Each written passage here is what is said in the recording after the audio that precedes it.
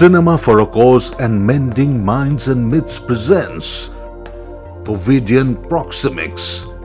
Is social distancing distancing our minds and hearts too? Independent filmmaker and creative explorer Abhishek Ganguli teams up with senior psychology teacher and eminent psychologist Somdutta Banerjee to find out the answers to a constant fear we are living with in this COVIDian world. Given the COVID situation we are in, how are you managing your social, personal, and intimate spaces? COVIDean Proxemics. I'm a student of BA English Honours from Amity University, Calcutta. And uh, regarding mental, uh, managing spaces in this lockdown, well, it's been, it's been going on for five months, and the first month was extremely hard for us. I had like cried on many occasions to express my frustration and stress.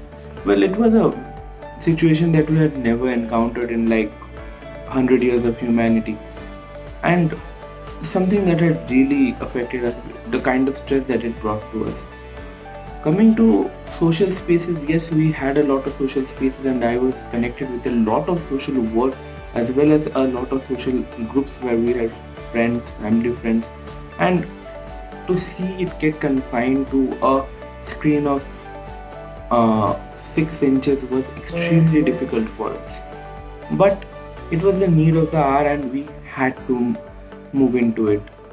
Coming to personal spaces personal space is something that comes to us in a very individual manner and its definition has a very individualistic approach. We should take a rather individualistic approach about it. And i think my parents had cooperated with me in this lockdown to give me the personal space i needed.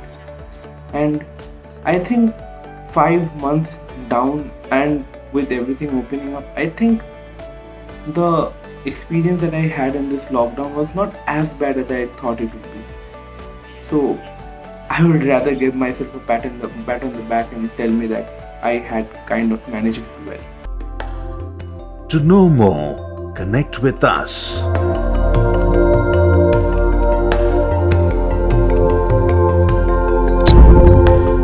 Covidean Proxemics.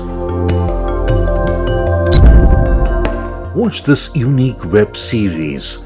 It is time that you are aware of the spaces around you.